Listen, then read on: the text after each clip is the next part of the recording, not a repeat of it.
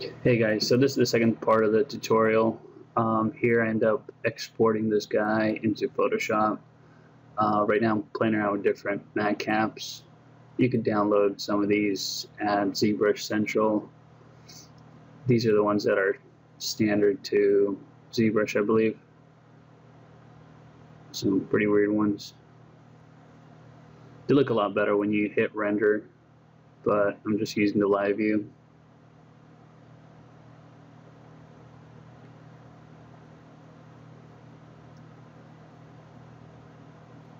So these are the four that I downloaded.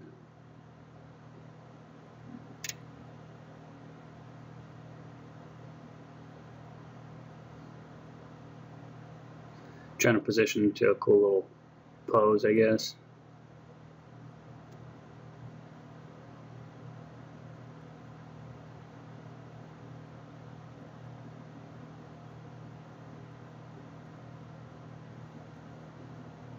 That was just turning on and off the perspective.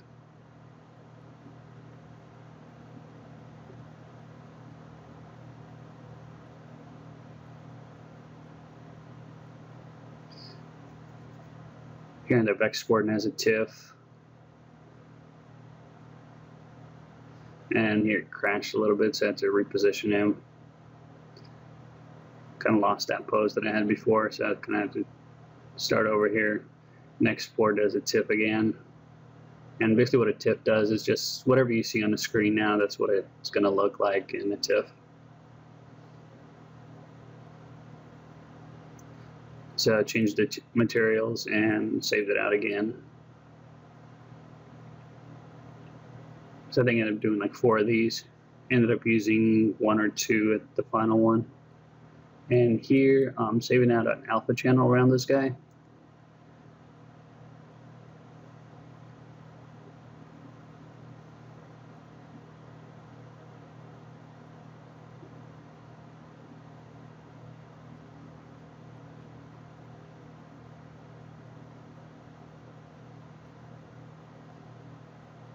So this is the fourth one.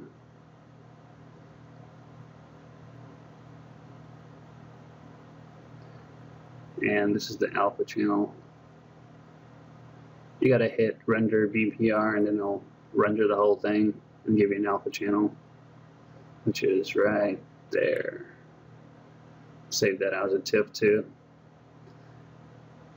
And then open up Photoshop, open all of them, and pretty much just copy and paste them all into one document in different layers.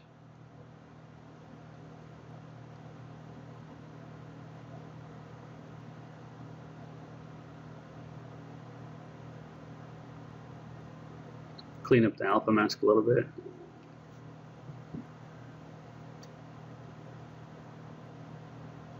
Yeah, I'm just turning them on and off to see what I'm going to use and what I'm going to get rid of.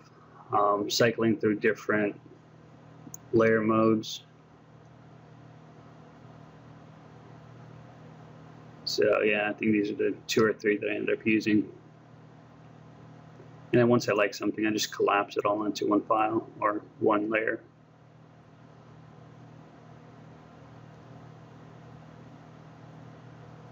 And just recropped it. And just pretty much started painting it on a new layer. And just pushing the darks a little bit more. And some more highlights.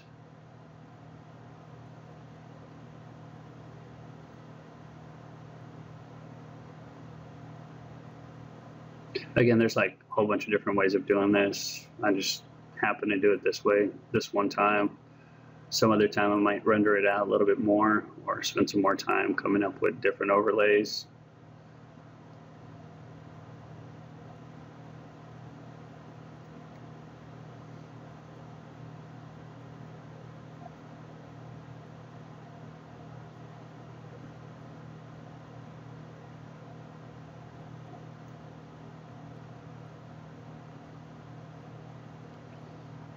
So I used uh, alpha mask to select him and then paint inside of it. So it's not really affecting the outside of it, of him.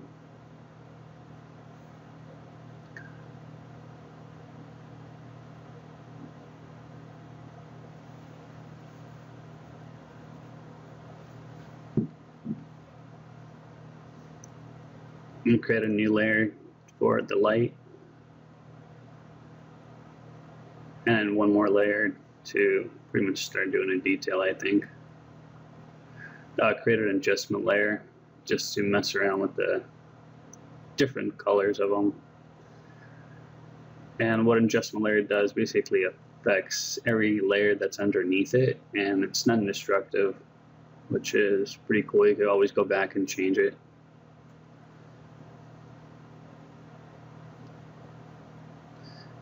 So here created uh, another regular layer and pretty much starting to do some more details on him.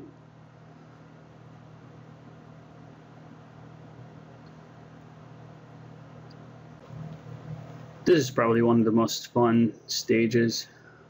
You could do a lot more in ZBrush and then won't have to do this in Photoshop, but I don't know. I like painting personally, so I end up doing all the details in Photoshop.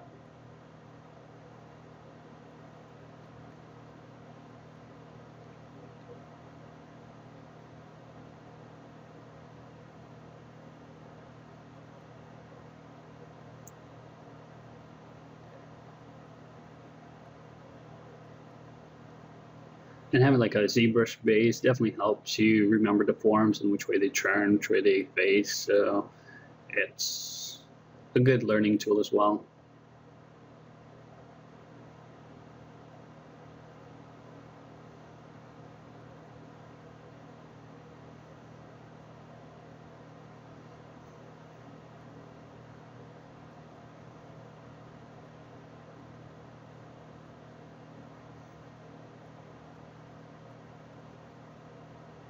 I'm just using a regular standard brush here. Opacity set to pressure sensitivity.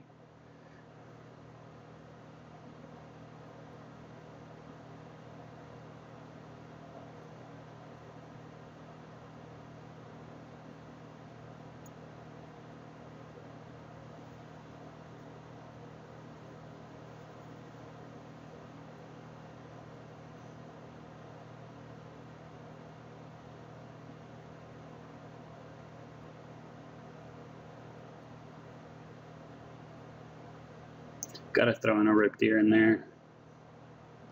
This guy's been through some shit. He's not too happy about it either. I was gonna put a earring on him, but it seems like everybody's doing that, so I decided to take it out.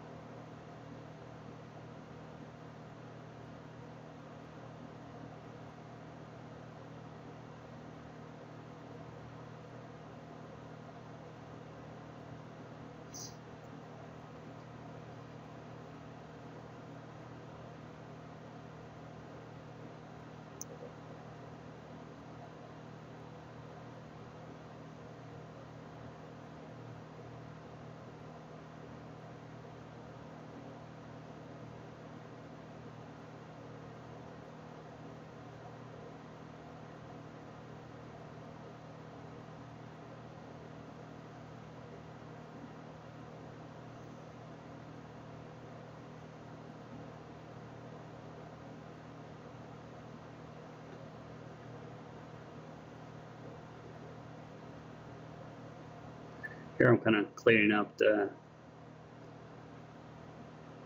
outside and didn't really like the way his head was shaped so I decided to paint that out.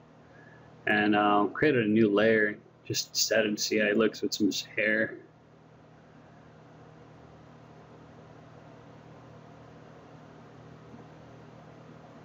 It gives him a totally different personality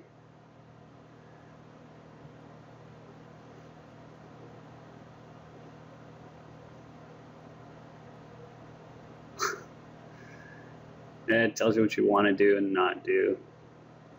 But oh, Magua hair over here. If you haven't seen it, I recommend watching it. Great movie. Last of the Mohicans.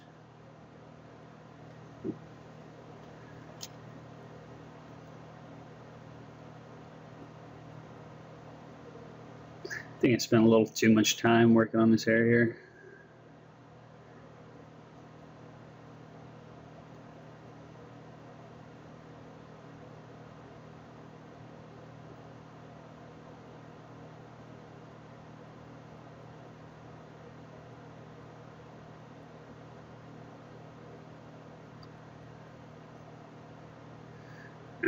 Nope, delete.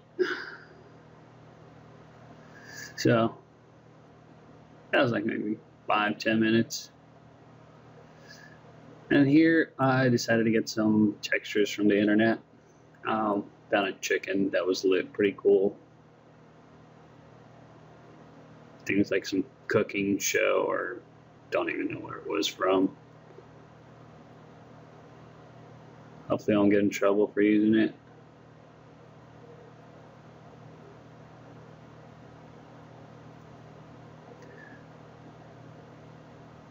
I transformed it and just trying to make a match the perspective of his head a little more.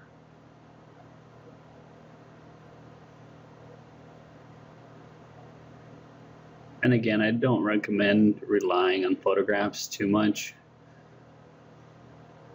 It's a good tool, but that's all it really is. It's a tool.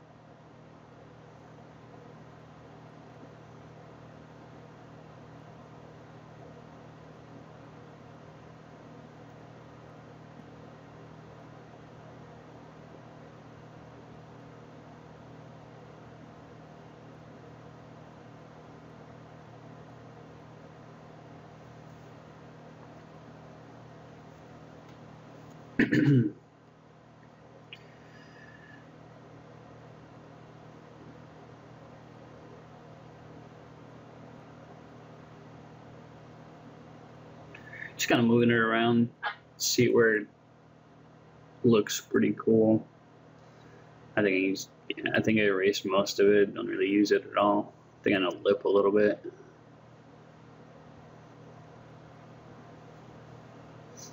Turn down opacity so it's not so in your face. Uh, here found a photo of some old dude. He's got some pretty cool wrinkles in his eyes, so I think that's what I ended up using.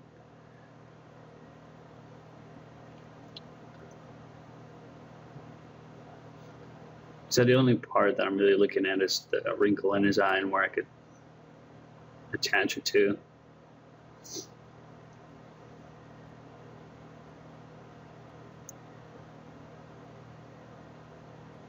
Set it to overlay here and um, pretty much erase the whole thing except like above his um, tooth, I guess, or his lip. It's hard to see it, so I'm adjusting the levels on it to bring the darks up a little more.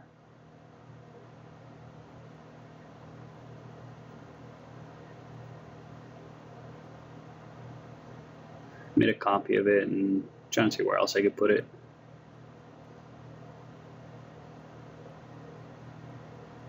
Drop the opacity down and erase what I don't need.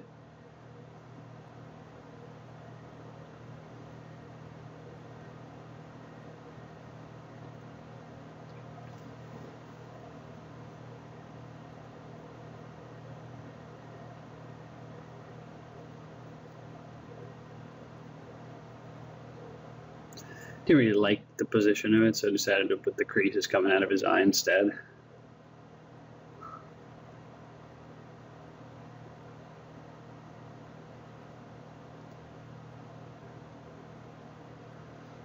Checking where else I could put it.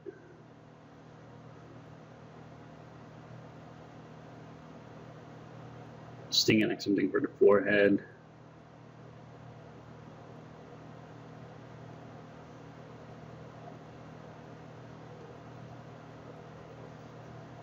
it's kind of interesting how the eyes lined up.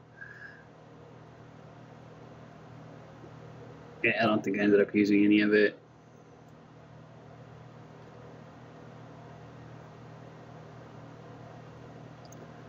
So here I decided to paint some eyes. On this one I decided to do them on the side here. That way I could have, I can move them around on their own layer and get them positioned the way I'd like.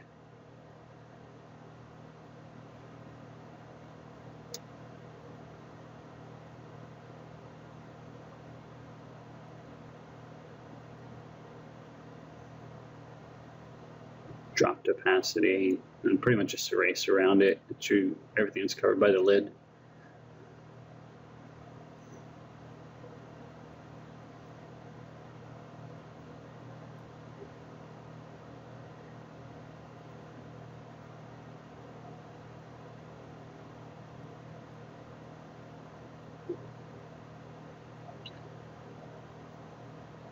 I don't know, there's something about the left eye that I didn't like, so tried it again.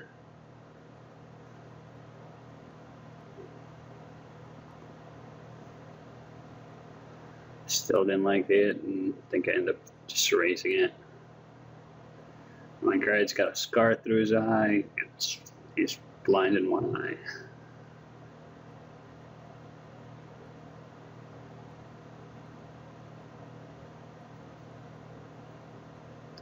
Here I'm just like fixing the alpha channel since I painted it in a little bit.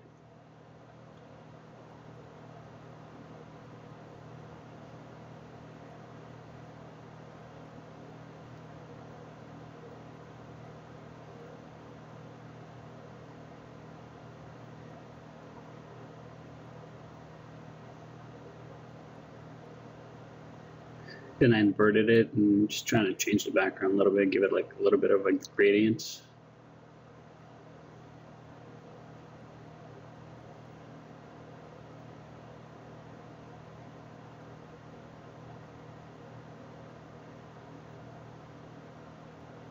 then inverted it and uh, trying to give them a little more volume and then set it to multiply I think I left it as normal and set it erase out of it. Kind of helps with depth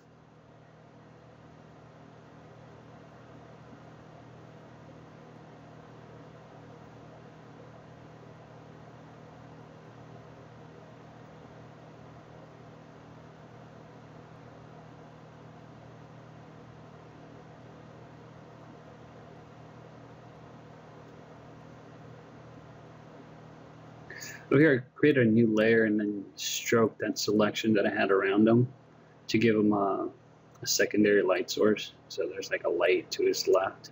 It's lighting the left side of his head.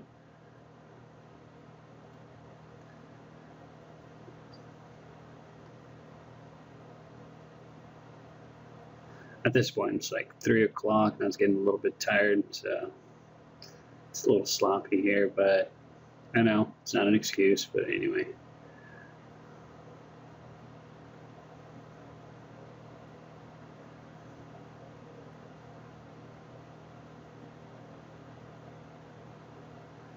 So as you add like a secondary light source, it definitely helps with the form.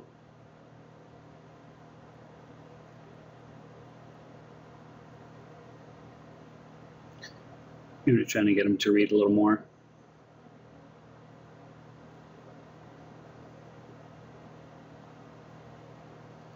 His forehead seemed a little flat, so I want to add some more volume to it.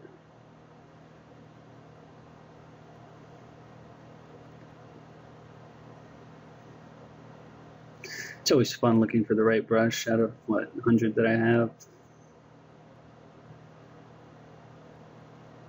Just add a little more noise. It's kind of like little pores that he has.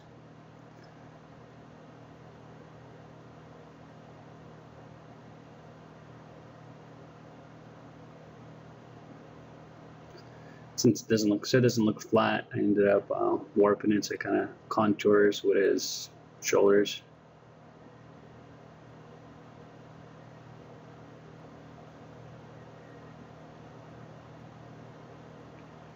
Same thing here on the dark side, but with dark now.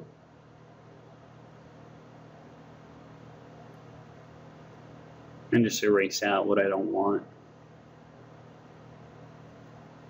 Another adjustment layers. Darken the whole thing a little bit.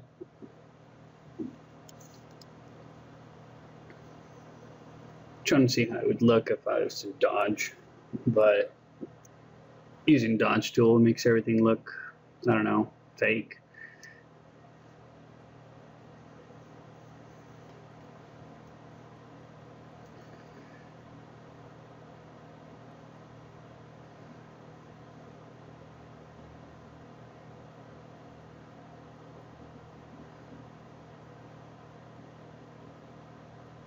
and some more light. I'm trying to hit like the tops of the forms that are facing the light.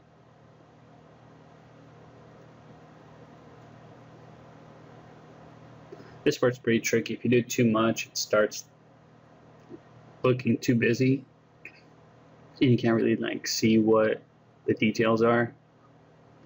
So I think I end up like erasing a little bit out.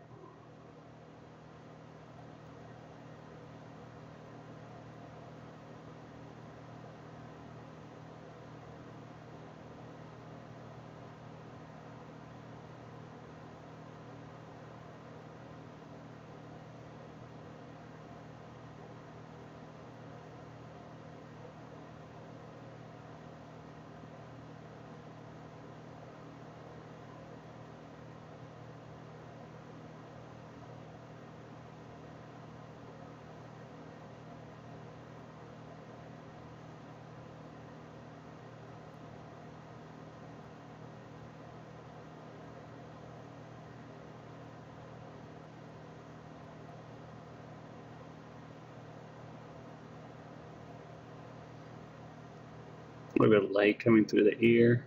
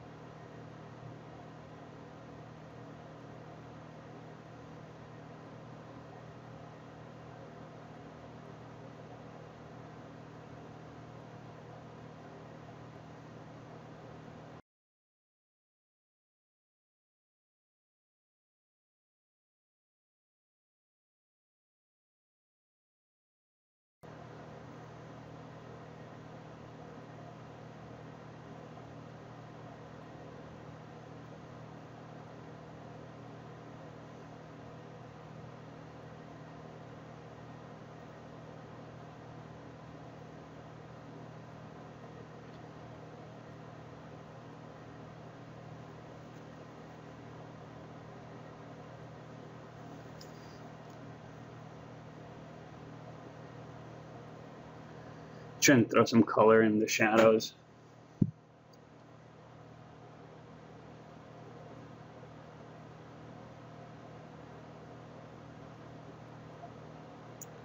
And with all those overlays, gonna end up losing some of the detail on the right side of the face now. So I'm going back in there and painting those in there.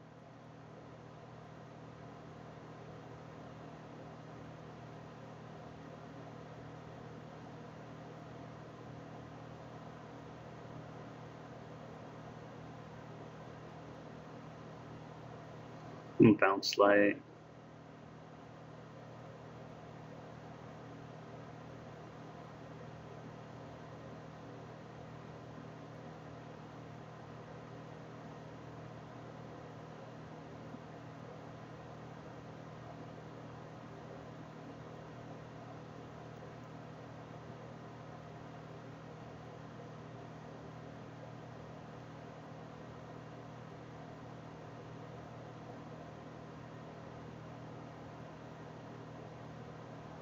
Little veins here and there.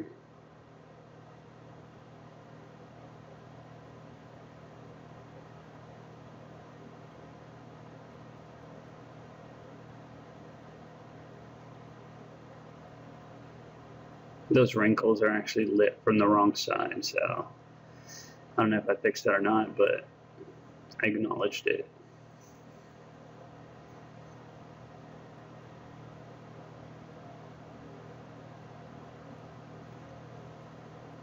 Think I do like one more attempt at an eye. Like, nah, looks retarded.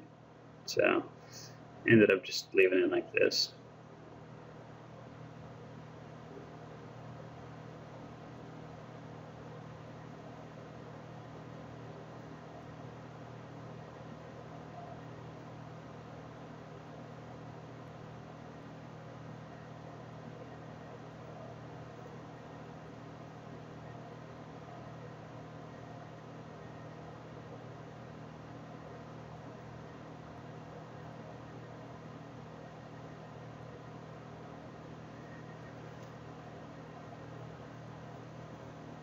I think I dropped it all in one layer.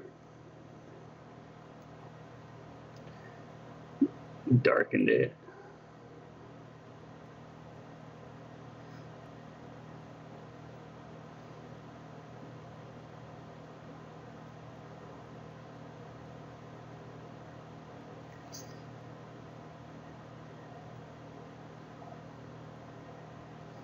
and just recropped it and trying to get rid of those lines on the bottom.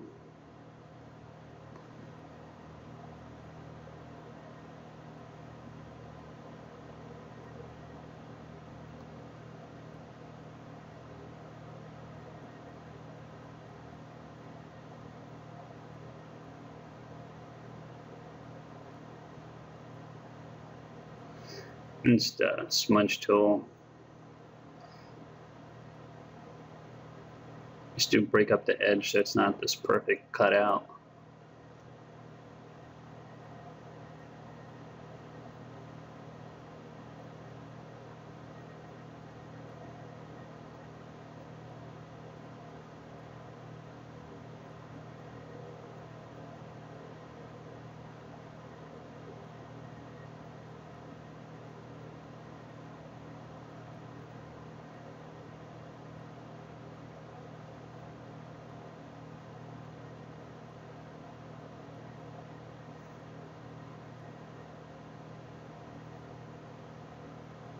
And a little bit of a glow. If you're in a dark room and the light is hitting a surface, usually gives out like a little glow. So I think this is pretty much it. Yeah, so this is the final rendering, I guess. I mean, I could spend more time on it, but it serves its purpose. It could be presented to a client. All right, guys, thanks for watching. Um, let me know if you want to see anything else or if you have questions, ask in the comments. I'll reply whenever I can.